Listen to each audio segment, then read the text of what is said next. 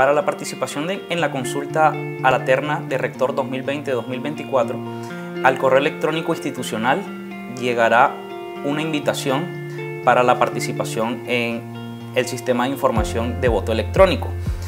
Este, esta invitación lo dirigirá hacia la plataforma de voto electrónico de la Universidad de Antioquia, la cual tendrá que darle al botón de has olvidado tu contraseña. Al darle clic has olvidado tu contraseña, en caso de ser estudiante deberás ingresar tu código estudiantil y en caso de ser docente tendrás que ingresar tu número de identificación. Posteriormente se tendrá que verificar un reCAPTCHA y hacer la recuperación de la contraseña.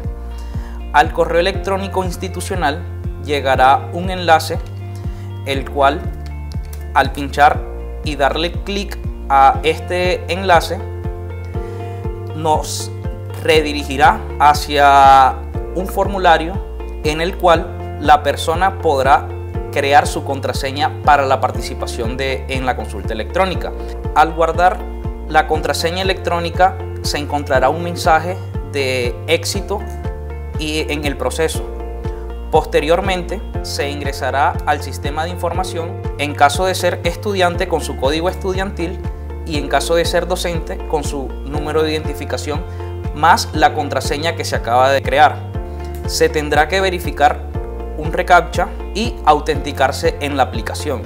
La plataforma arrojará un mensaje de bienvenida y habilitará la consulta electrónica para participar.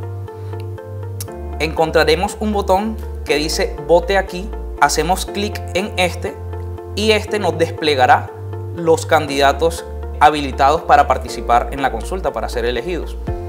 Posteriormente, el usuario hace la escogencia del candidato y para poder realizar la votación deberá nuevamente eh, escribir su clave para hacer la doble autenticación.